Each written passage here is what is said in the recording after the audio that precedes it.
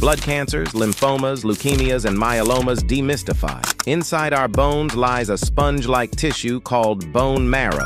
Bone marrow is the factory that produces your blood cells.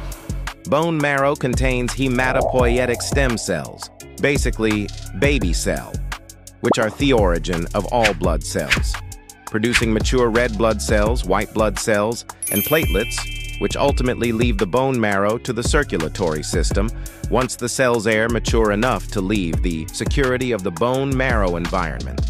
Blood itself is made up of a liquid component called plasma and cellular components, red blood cells, white blood cells, and platelets.